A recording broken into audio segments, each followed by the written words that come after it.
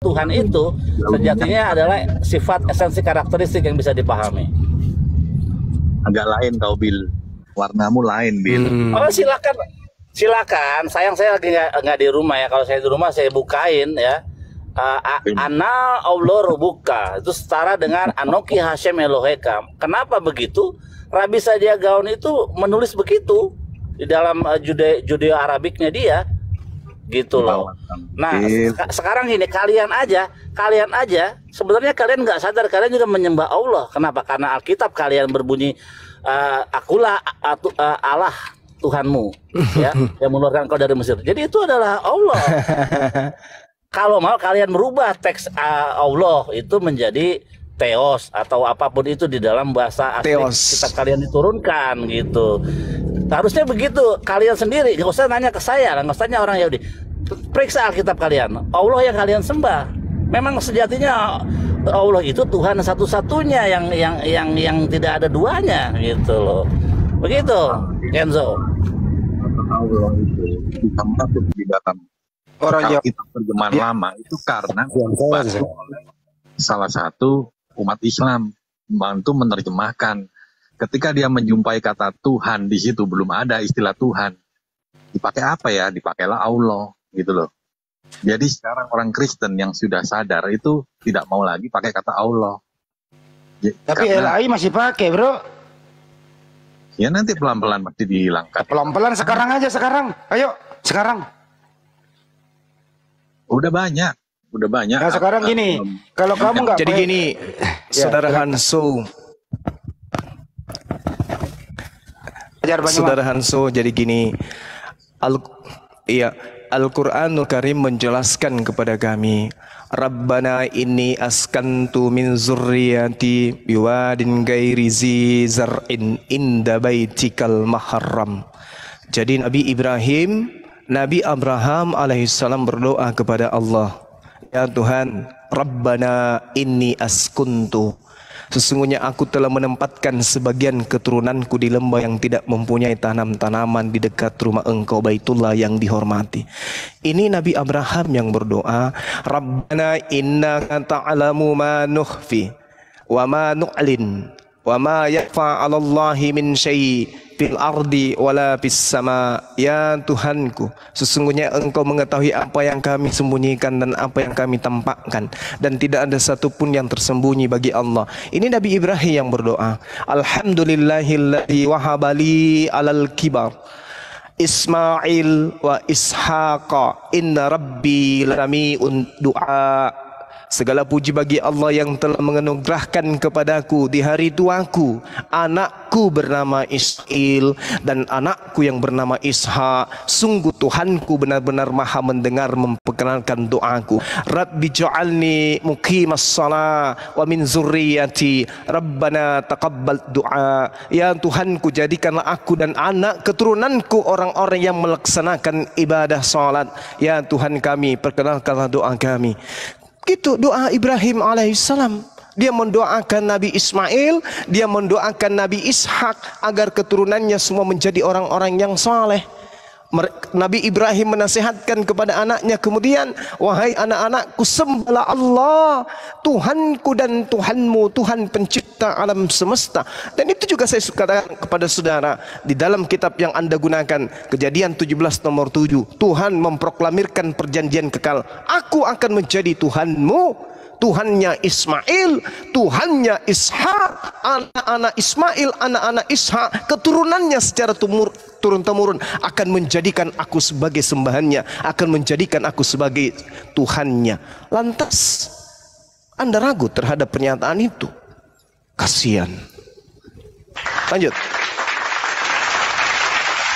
Anso, Anso, Monitor. Anso, Anso gini Anso.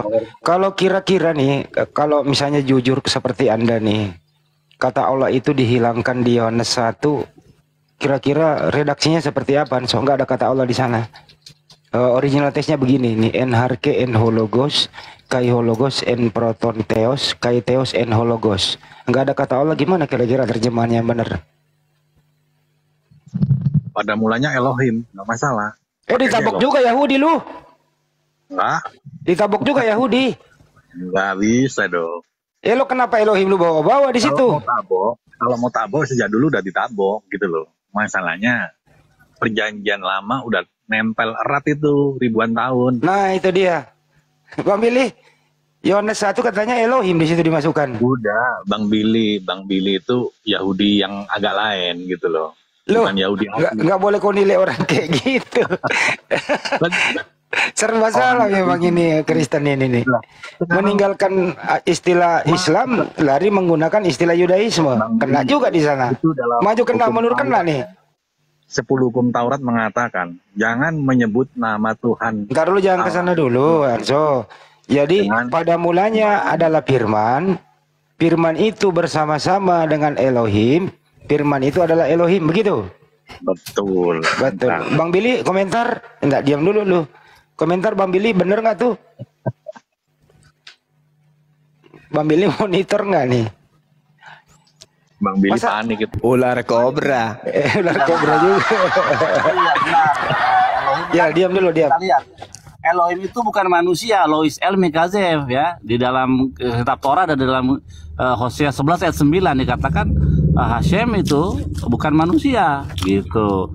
Jadi kalau mau disebut Elohim eh, Elohim Elohim itu kan bisa artinya eh, kekuatan ya, eh, otoritas. Jadi malaikat bisa disebut Elohim, eh, para para hakim-hakim bisa disebut Elohim, Yerusalem juga disebut Elohim. Nah, tapi kalau Elohim merujuk kepada Tuhan pencipta langit dan bumi, tentu tidak bisa karena eh, nggak nggak ayatnya nggak masuk. Karena kalian kan teks asli kalian kan Yunani gitu, nggak nggak bisa disandingkan dengan eh, bahasa Ibrani. Makanya ketika eh, Septuaginta atas paksaan desakan Ptolemy Mesir di Alexandria, ya eh, itu dikata- dikatakan sebagai suatu musibah yang besar, sebagai kecelakaan. Harusnya tidak boleh terjadi. Kenapa? Ketika kita diterjemahkan ke dalam bahasa orang-orang yang yang mempunyai konsep penyembahan berhala, akhirnya demikian jadinya. Kita lihat bagaimana eh, Yunani itu berdiri dari eh, keyakinan imannya dari pagan dari penyembahan berhala-berhala ya. Romawi juga demikian. Ada ada nama ada nama-nama dewa yang merek-merek motor, Minerva, Jupiter, Nuvo. Itu konsep-konsep itu. Nah, dengan itulah kalian membangun eh, dasar iman kalian dari mana? Dari pagan yang di yang eh, eh, yang dikeluarkan maknanya diganti dengan makna baru begitu. Itu menurut Sam, Sam Aldo. Jadi kalau kata Elohim mau kalian masukkan ke dalam eh, satu Yohanes itu eh, tidak apple to apple, nggak nggak masuk secara linguistik bahasa nggak masuk gitu. Mantap. Oke Bang Billy. Assalamualaikum warahmatullahi wabarakatuh. Waalaikumsalam warahmatullahi wabarakatuh. Jadi sebelum ke Pak De, Bang Juma ini nih ya, kalau menurut akal sehat supaya keyunanian enhar ke enhologos kaiologis importanteos. Kalau mau bahasa Indonesianya dengan benar gini bunyinya. Pada mulanya adalah logos, logos itu bersama-sama dengan teos, teos itu adalah logos. Itu baru benar eh, teo, eh, teo ya teos eh, logos itu adalah teos. Itu yang benar terjemahannya. Jangan pakai Elohim, jangan pakai Allah, teos aja. Gitu baru benar langsung. Teos dewa. Itu, itu baru benar karena ini kan ini kan Platonis Yunani. Kenapa lu ke Arab-Araban? Kenapa lu ke Yahudian? Ke Yunanian dong. Gak masalah. Mau bahas Nah, nggak ada masalah Bang Juma. Udah kena dia. Tuhan Tuhan. Nggak ada masalah, udah kena dia. Ke Yunanian udah. Iya nggak apa-apa. Bahasa Tuhanku tuh apa ya? Semua dia kenal gitu loh. Gak hanya satu bahasa. Iya kan? Jadi LAI dengan yang yang benar nih LAI. Pada mulanya adalah logos. Logos itu bersama-sama dengan teos dan logos itu adalah teos. Itu baru benar ya. Catat. Catat. Saya nggak akan berani Bang Andi mau bangkrut. Kristen bubar kalau nggak ke Islam Islaman. Oh, enggak, enggak salah. Lebih parah ini Pak De ini. Mau ada bubar. Jelas Mau dong. berkembang lebih pesat sekarang ini banyak orang berkembang. Karena ada jaminan kepastian. Kira-kira kira-kira LAI berani nggak menerjemahkan jujur tuh? Kira-kira gini Bang Andi, kalau Kalau- Kristen itu kembali ke Yunani Yunanian gitu, kira-kira orang ada orang Islam yang murtad enggak? Ayo nyembah Theos. Eh yang dibawa oleh apostolos di dalam Biblos gitu, kira-kira laku enggak itu? Ada nggak orang Islam yang murtad tuh? Diajak nyembah Theos. Jangankan jangankan Islam murtad Pak De, orang orang Enggak. nenek kakek-kakek aja sendiri bingung apalagi nih. Nggak laku, nggak laku kalau kembali ke Yunani Kalau Yunanian. bunyinya seperti itu, akhi, kalau kitab mereka kembali ke Yunani Yunanian, maka tikar menggulung gereja. Bukan gereja gulung tikar, tikar gulung gereja gitu loh.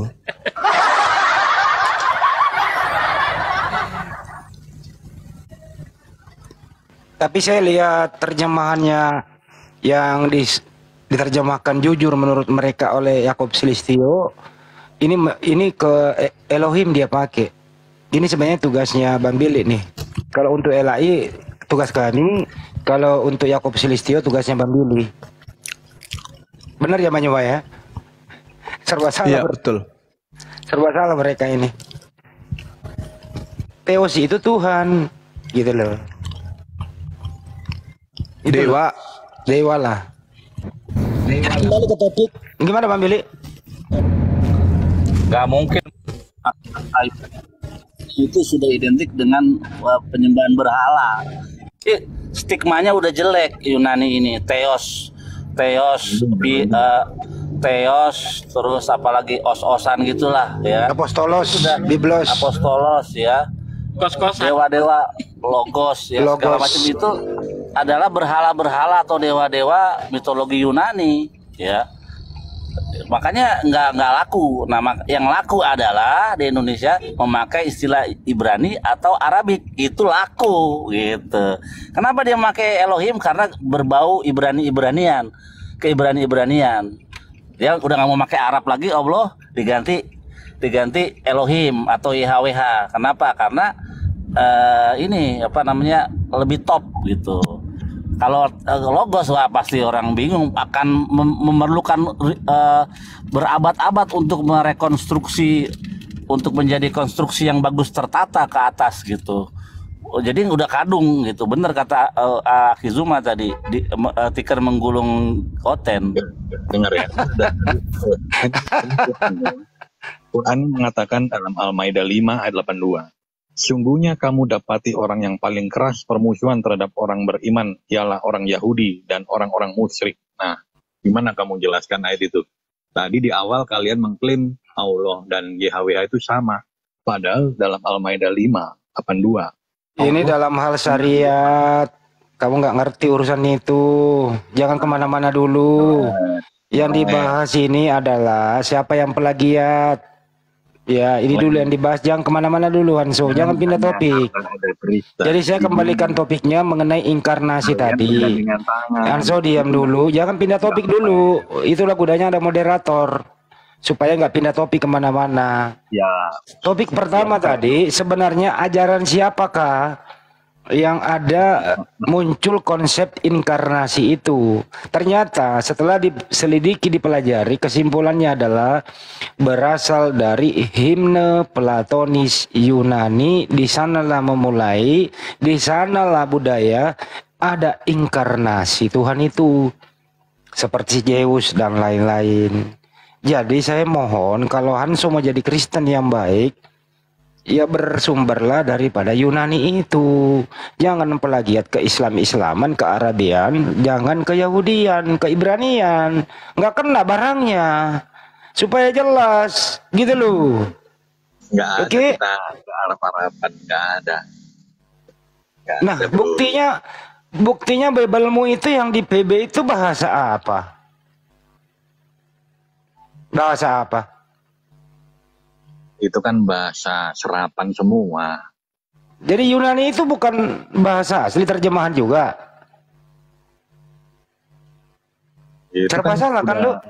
Bahasa Batak Bang Handi, bahasa Batak. Jadi cintailah original teks Biblemu ke Yunanian dong.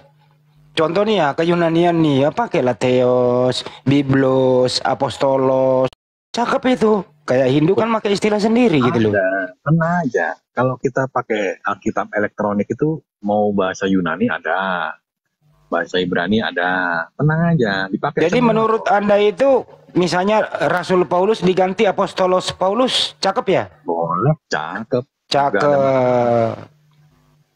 Pada mulanya Jadi, adalah logos, bukan firman, cakep ya? Bang Andi. Yang kalian permasalahkan ini yang remeh-temeh gitu loh. Loh Bukan ini pondasinya, coy.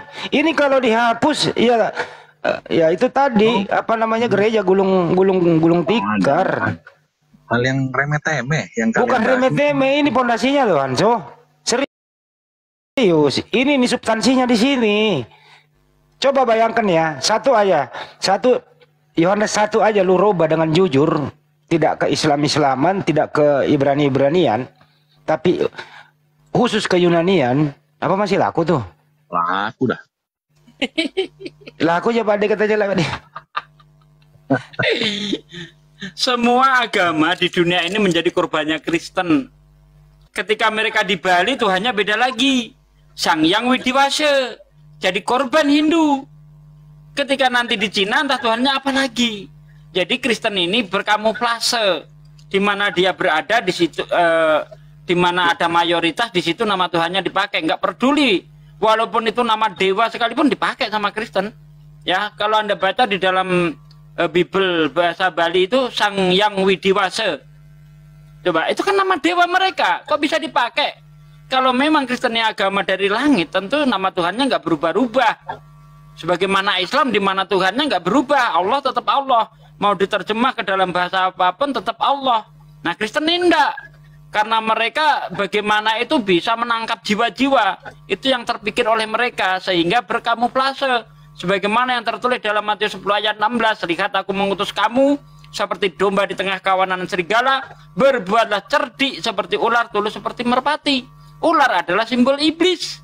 Kalian memang diperintahkan untuk seperti iblis dalam Bible i- ular simbol iblis tidak ada simbol lain Lihat aku mengutus kamu seperti domba di tengah kawanan serigala, berbuatlah cerdik seperti ular, tulus seperti merpati. Jadi harus kamuflase supaya bisa memurtadkan orang. Begitu. Di mana ada kita memurtadkan orang? Ya, jangan tutup mata deh Hanso, Hanso.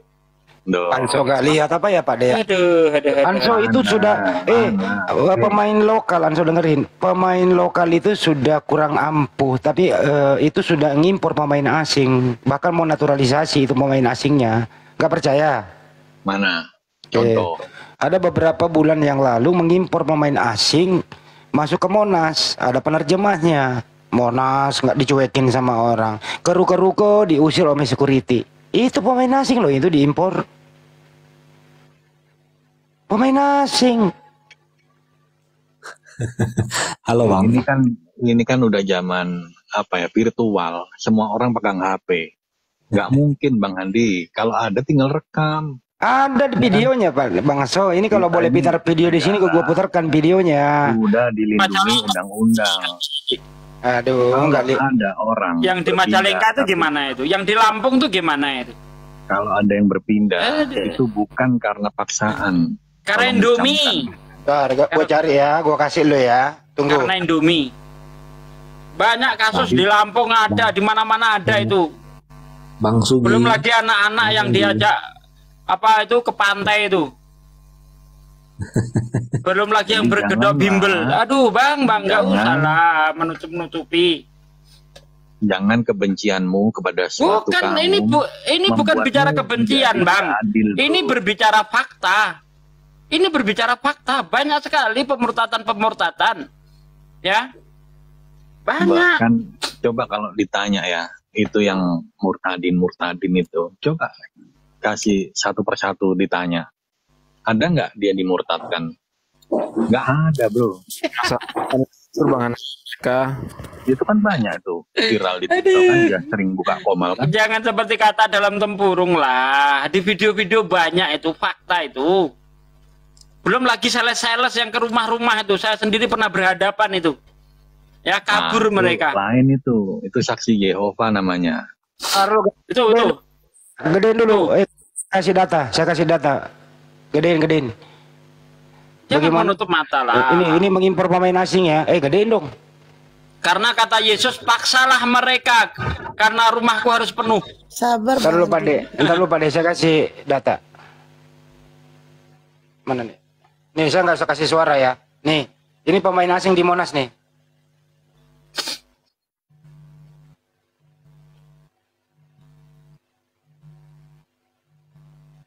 Halo ya. Nih pemain asing di Monas nih. Mana sih orang asingnya tadi tuh? Nih nih nih, dicuekin. Nah ini nih dia nih. Nih. Hmm, impor pemain asing nih. Nih nih nih, gue deketin nih orangnya nih. Nih. Udah cukup ya. Nih, impor pemain asing coy. Cukup. Iya. Masalahnya kan nggak semudah itu toh. Akidah orang itu kan nggak semudah itu dibalik. Bukan masalah aki dan tidaknya, tapi terbukti bahwa sudah mengimpor pemain asing. Kalau aku bilang itu oknum, boleh. Ya memang oknum, siapa bilang kelompok. Makanya setiap agama pun ada oknumnya. Ya itu saya kan udah bilang, impor pemain asing untuk penginjilan. Sama juga di ajaran. Tapi Islam tadi kan an- dari awal Anda nggak percaya. Saya kasih data baru oknum. Siapa bilang ter, siapa bilang organisasi? Bisa juga organisasi sih, cuman yang oknum-oknum oleh kela gitu ya. Berujuma ya kan? Ada yang mau Tapi saya belum pernah saya dengerin dengerin saya belum pernah melihat ada ustadz itu ya dari rumah ke rumah orang Kristen untuk mengislamkan orang. Nggak ada. Nggak ada itu. Tapi yang terjadi adalah brosur di mana-mana ini ada yang terjadi nih risuli lubis ke mana-mana kalau tidak dapat objek temannya sendiri temannya sendiri di Islam, Islam dikasih busana Islam Islam Ini Bang Andi, Ya, itu Nih, gedein tuh. viral. Gedein tuh. video pemurtatan berkedok sembako. Ini apa ini? Eh, Siapa nggak ada? Jangan bohong. itu kan video bikinan bisa aja Aduh. begitu. Semua orang bikin gitu bisa bro. Ini udah zamannya IT undang-undang orang kayak gitu. Kalau memang ada tangkap proses hukum clear. Nggak usah teriak-teriak gitu loh. Lah kan ada, katanya tadi nggak ada. Sekarang tangkep, tangkep. Apa sih lu? Begitu dibuktikan tangkep, tangkep tadi katanya nggak ada. Gimana sih? Yang bener lah, konsisten lah jadi orang. Yang sales itulah yang sebenarnya benar. Karena itu perintah. Markus 16 nomor 15 Beritakanlah Injil kepada seluruh makhluk. Jangan di gereja aja. Harusnya saudara Hanso ini keliling pakai toa, pakai mobil. Bacakan itu data-data Bible. Karena semua makhluk masuk ke mana? Ke goa-goa, ke terowongan semut Tempat-tempat kecoa. Itu harus beritakan Injil kepada seluruh makhluk. juga. Ya kan begitu dalilnya Bang kan Hanzo, Hanzo beritakan ini sama Bang Zuma juga ini. Nah, iya betul.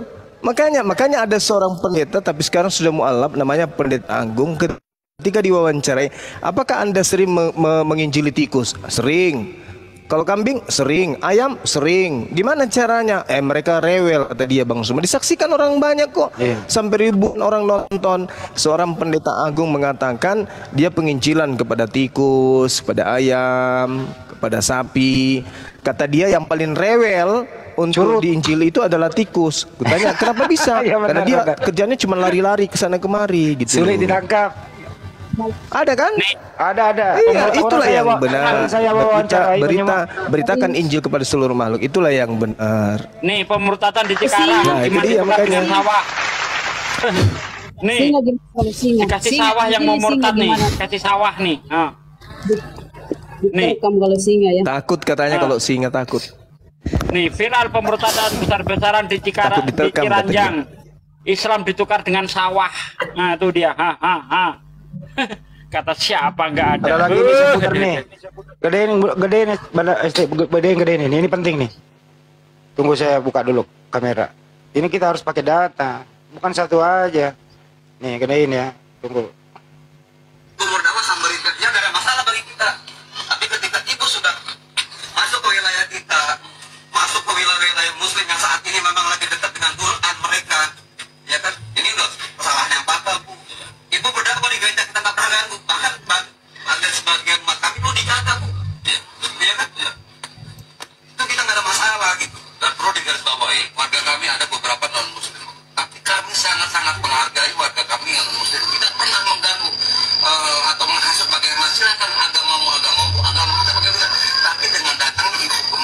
Oh, cukup. Cukup. Dat data. Gimana itu? Ketangkap basah. Bang Handi ini lucu. Cukup, cukup, tahan, tahan. Padahal HP HP dia. Kita disuruh cukup. Kita disuruh Iya. tahan. Iya gitu ya Bang. Iya, iya, iya, iya. Ah, Iya, iya, iya, iya. Iya, sudah, sudah, sudah. Iya, sudah. Ular kobra. Ular kobra. Beritakanlah Injil kepada seluruh makhluk. sikit, ular naga. itu perintah itu. Jadi kalau tidak Anda jalankan ya anda tidak mentaati perintah Yesus berarti. Tapi hati-hati, saya punya tangkisan tendangan melayang dan tendangan sliding gunting. Kalau Anda beritakan Bible ya kami tangkis lah. Itu bayangkan bagaimana seorang muslim itu menghadapi orang-orang seperti itu. Mereka masih sebentar Bunda ya. Masih mereka mengedukasi. Masih mereka eh, memberikan sih?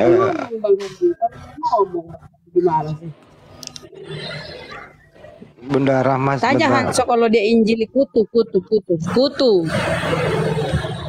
Gimana kalau kutu dia injili? Bang Hanso. Lanjut. saya, saya kira ini ya saya kira Bunda Rama sama Bang Zuma sedang salah kaprah juga Ntar dulu Bang, Karena- ya. izin dulu saya karena- terusin tadi videonya ya. Izin ya. oke oke oke oke Jadi misi-misi seperti ini itu banyak.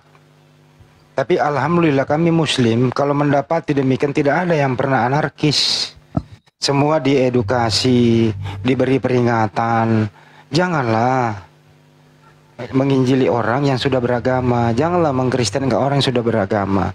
Ini sebenarnya melanggar hukum. Tapi apa yang dilakukan oleh saudara-saudara saya? Tidak ada yang anarkis tuh. Bagimu agamamu, bagi kami agama kami. Tolonglah kembalilah. Itu loh yang terjadi. Gitu loh. Itu loh jelas loh apa adanya. Apa kami anarkis? Enggak. ini Mana nggak lo, Bang? nggak bahas bahas itu ya oke Nah, ini tadi soal eh, apa ular kobra, soal kutu. Ya, ini harus diluruskan juga karena di dalam Bang- ya, jadi, jadi segala makhluk di sini jangan bisa dipisahkan dengan ayat selanjutnya Bang Zuma. Ya, kalau lihat nanti di situ di ayat 15 itu lalu ia berkata kepada mereka pergilah ke seluruh dunia beritakanlah Injil kepada segala makhluk. Jadi, sambung siapa yang percaya? Masa ular bisa percaya ngomong? Siapa yang percaya akan diselamatkan, tetapi siapa yang tidak percaya akan dihukum. Jadi Ya, ular- ular kan juga makhluk. yang percaya. Masa bisa percaya? jadi jadi jangan terlalu dianalogikan. Oh jadi bisa kutu, bisa bisa kambing. Nah itu juga saya kira salah kaprah lah ya, keliru lah ya. Terima kasih bang. Allah itu adalah karya tulisan mereka kemudian. Lalu mereka jual ke Roma dan Yunani tembus sampai ke Indonesia. Ini Al-Quran yang menarasikan itu dan kami beriman kepada pernyataan Al-Quran ini. Maka ketika kemudian Al-Quran itu sampai kepada kami kami beriman. Dan dikatakan pula di dalam Al-Quranul Karim inna syaitana lakum adu fattakhizu aduwa. Sungguh setan itu musuh bagimu maka perlakukanlah ia sebagai musuh. Karena sesungguhnya setan itu hanya mengajak golongannya agar mereka menjadi penghuni neraka yang menyala-nyala. Nah, Bang Jum- tadi kembali sabar Bang sabar. Juma. Tadi pernyataannya adalah beritakanlah Injil kepada seluruh umat Islam. Dengan kata lain beritakanlah Injil kepada seluruh makhluk. Umat Islam juga makhluk. Maka Injil kitab yang dibuat berdasarkan angan-angan tadi diberitakan kepada umat Islam. Kami hadir sebagai apologet Islam untuk membentengi umat kami gitu loh. Supaya jangan kemudian diajak ke neraka bersama-sama. Yang yang anda Iqbal. maksud, yang anda maksud dengan kitab angan-angan ini apa ini? Eh, kitab saudara. Kitab yang ditulis Lukas, Markus, surah Paulus. Iya, bukan Da- Bible. das- dasarnya apa bang? Oke, baik. Di dalam Lukas Sebelum 24 jawab, nomor sebelum jawab. 44. Oke. Oke, silakan. Itu yang pertama ya. Sebelum dasarnya apa? Yang itu yang pertama yang angan ya. Oke, Yang saya- kedua, saya jawab. Apa? Oke oke siap siap siap. Eh, saya jawab. Lukas 24 nomor 44, 45, no- 46. Yesus dituduh bahwa Yesus berkata, ada tertulis tentang Yesus di dalam Taurat bahwa Yesus akan mati dan bangkit pada hari ketiga. Apakah betul ada di Taurat? Coba Anda tunjukkan kalau ada. Ternyata tidak ada. Berarti Al-Quran tidak salah dengan mengatakan mereka hanya berangan-angan. Mereka tidak mengerti Taurat. Ini Al-Quran. Al-Baqarah ayat 78. ayat 79. Bang coba. Juma, sebentar. Lukas Jadi, berapa? Lukas silakan. berapa? Lukas, Lukas berapa? 24 data Ayat nomor 46. 24 44 sampai 46. Mesias harus Coba menderita baca mati dan bangkit dari antara orang mati pada hari yang ketiga. Ada tertulis di mana itu di kitab Taurat? Tertulis di Taurat. Mesias harus menderita mati dan bangkit dari antara orang mati pada hari yang ketiga. Di mana ada tertulis seperti itu? Kalau nggak ada, itu angan-angan. Betul kata Bang Juma. Kata Al-Quran, akhi. Ya, kata Al-Quran. Betul. Buk- bukan kata saya. Iya, iya. Coba tunjukkan di mana itu. Sebentar. Sebentar, Pak. Ayat berapa? Saya ini ya. Ma- Lukas 24 ya? Iya, dari ayat 44. Iya. Lalu Oh, Yesus Bang, membuka pikiran mereka sehingga mereka mengerti kitab suci. Lalu Yesus berkata, harus digenapi ten- apa yang tertulis Ya. tentang aku di dalam kitab Taurat Musa, kitab para nabi dan kitab Mazmur. Demikian katanya ada tertulis demikian Mesias harus menderita mati dan bangkit dari antara orang mati pada hari yang ketiga. Di mana ada tulisan seperti itu? Cari di Taurat nggak nemu. Kita di nemu. Ketubim nggak nemu. Di Mazmur nggak nemu. Jadi penulis ini eh, nggak terbukti tulisannya. Tidak ter- tidak terbukti rujukannya gitu loh bro. Itulah yang Al-Quran katakan. Oke. Eh, ini harus dimengerti ya. Di ayat 45 ya. Saya lihat ya. 46-nya, 46.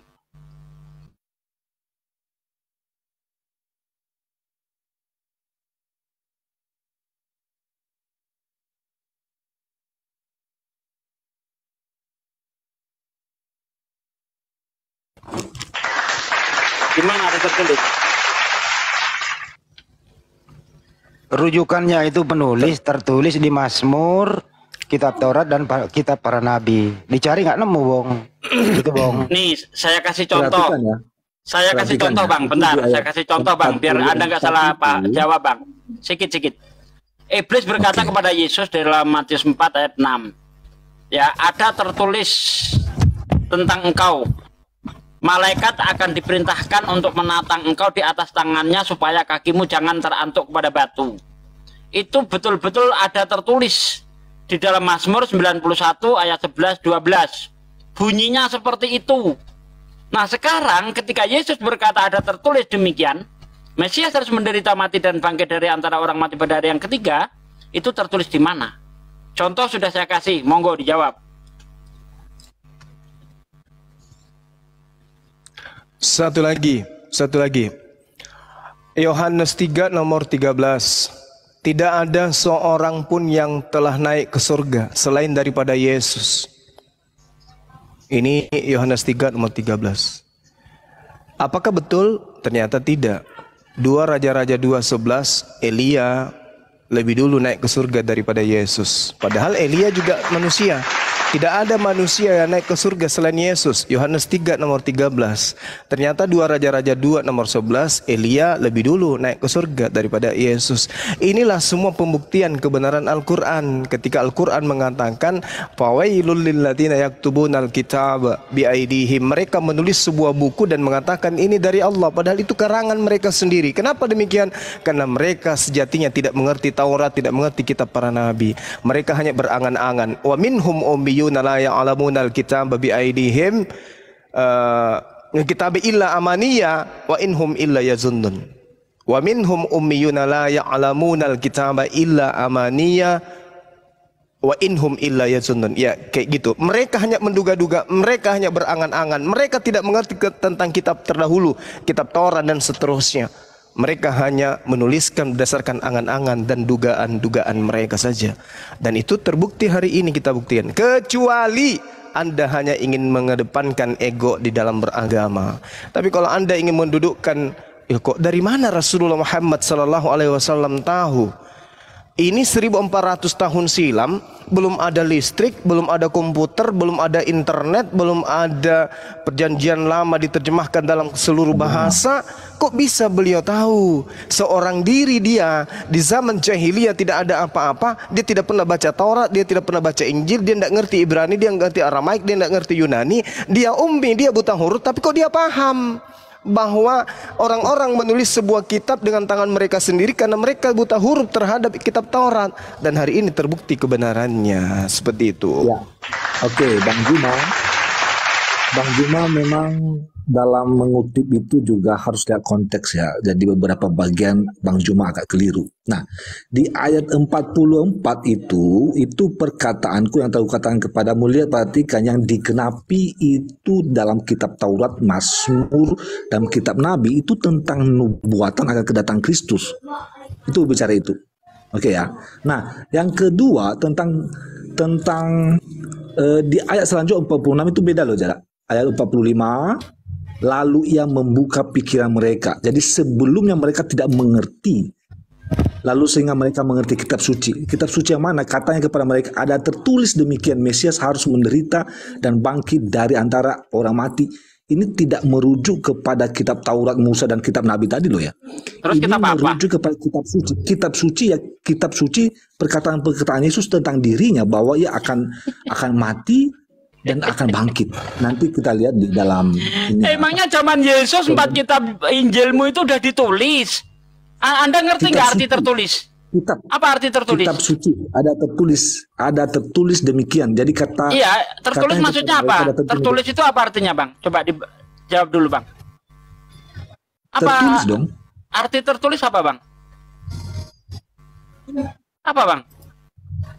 Tulis Tersurat.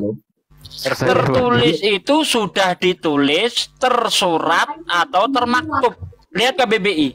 Nah, kalau sudah ditulis berarti ada sebuah kitab yang isinya seperti itu. Kalau itu merujuk kepada perjanjian baru zaman Yesus perjanjian baru belum ditulis. Bagaimana kamu bisa merujuk ke perjanjian baru? Izin dulu saya kasih contoh dulu lagi satu karena ya. di dalam perjanjian kita berbicara tentang Dengerin dulu bang. nanti lagi. Sebentar Eh, ya. sebelum izin dulu saya dulu bang. Izin mas. Satu menit paling lama. Sebelum saya ke Makassar saya telepon adiknya Bang Juma. Adiknya Bang Juma berkata Bang Andi di wisata Bolangi milik Bang Juma ada tertulis. Satu tanah ini milik Bang Juma. Ada kolam renang ada kelinci ada villa ada masjid Nur Maulida ada musola. Setelah saya ke sana benar ada tertulis itu yang dimaksud. Kedua lagi nih. eh, Pak Hendra mengatakan Asepa itu lu cari di Google ada tertulis Asepa tempat rehabilitasi narkoba. Setelah saya cari ada benar tertulis. itu maksudnya. Paham nggak sih analogi ini bang? Bener nggak bang? Paham nggak? Ini sekaligus Ular memberitahu anda kobra. semua nih. Ini contoh sekaligus memberitahu Banyuma nggak apa-apa ya. ya lanjut lanjut. Pak Hendra. Ayo, Akhi Billy silakan.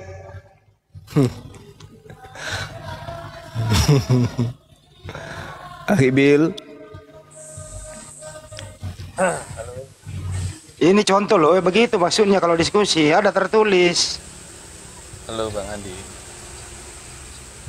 momposi. Bang Andi. Masih mau kau datang besok? Kita perjanjian lama daripada Yesus. Iblis saja mengutip langsung tepat dia. Ada tertulis demikian. Ya, malaikat akan diperintahkannya untuk menatang engkau di atas tangannya supaya kakimu jangan terantuk kepada batu. Saya cari-cari ketemu di Mazmur 91 ayat 11 12. Eh ketika Yesus ngomong, saya cari-cari nggak ketemu. Berarti iblis lebih hafal Bible apa perjanjian lama daripada Yesus. Berarti lebih jujur iblis ya, Pak De? Betul. Betul. Mapakoi. Coba di Keluaran 19 ayat 11. iya iya. Menjelang hari ketiga, Iya iya iya. mereka harus bersiap sebab pada hari ketiga Tuhan akan turun di depan mata seluruh bangsa itu di Gunung Sinai. Ular kobra. nggak mirip ya? Mirip pun tidak. Kata Mesiasnya harus menderita mana? Mesias harus menderita mana? Mesias harus menderita, mati dan bangkit Ular- dari ular antara orang mati. mendesis lagi. Pada hari yang ketiga. Mana kok nggak mirip belas? Oke, Hosea 6 ayat Mirip pun tidak. Eh, iya. Ia akan Iya. hidupkan kita. Inilah Mesiasmu. Kita lagi di Serang, Banten. Aduh, Anzo, Anzo. Aki, aku off dulu ya. Ada teman-teman dari Baik, Aki. eh, Tringat. Iya, masya Allah. sampai Iya. ketemu. Oke, Jangan lupa, sip. Petik. Mesias Jangan lupa itu petikan gitarnya. Ya. Allahu Akbar. Oke, sampai ketemu lagi Iya, teman-teman. Iya, out, let's sip, out. sip, sip. Masya Allah.